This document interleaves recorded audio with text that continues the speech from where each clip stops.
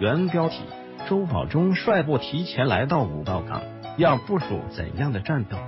全国抗战爆发后，东北抗日联军和广大东北人民在抗战形势的鼓舞下，积极行动起来，掀起了新的抗日斗争高潮。他们密切配合，协同作战，奋勇出击，破坏敌人铁路交通、粮站仓库、集团部落，扰乱敌人的后方。狠狠的打击了日本侵略者。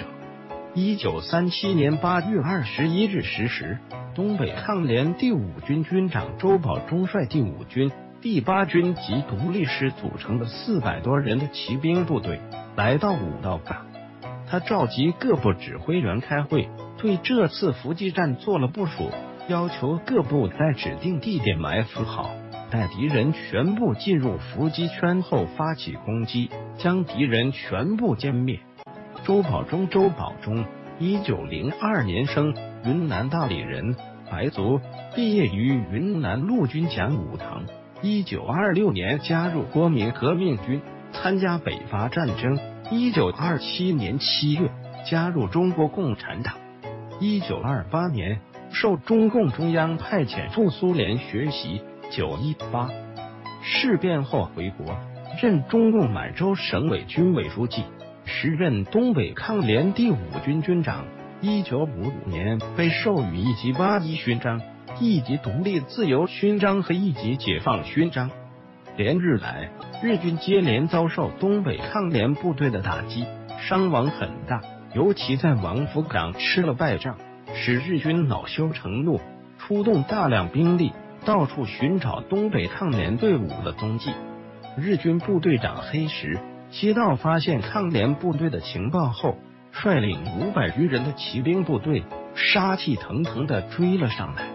此时，周保中正要给日军一个下马威，他们早早的来到了一个叫做五道岗的地方部署战斗。五道岗是通往华南县的一个地势不高的小山岗，道路的两侧是杂草茂盛。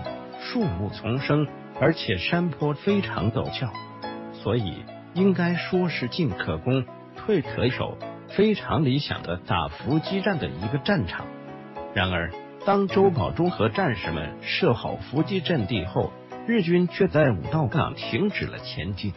原来，狡猾的日军发现五道岗地势险要，为了刺探情况，黑石命令部队向岗上开火。但是周保中识破了敌人是在火力侦察，果然没见什么动静的日军开始继续前进。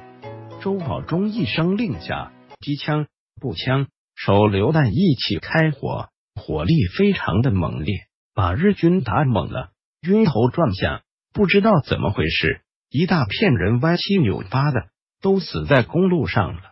中了埋伏的日军气急败坏的。用机枪和小山炮射击，而事先埋伏在五道岗南北山头上的东北抗联战士，凭借居高临下的地形，从三面向日军射击，日军纷纷倒地。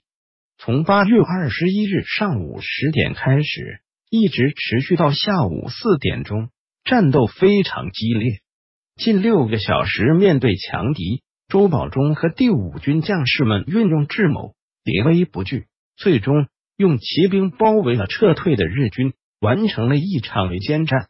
在这次五道岗战斗中，周保中的第五军歼灭日军一共是三百七十多人，伤五十多人，而且还缴获了大量的武器装备和弹药。应该说，这是一个以少胜多的伏击战的光辉战例，沉重的打击了日本的嚣张气焰，大大振奋了东北地区。甚至全国的抗日的士气。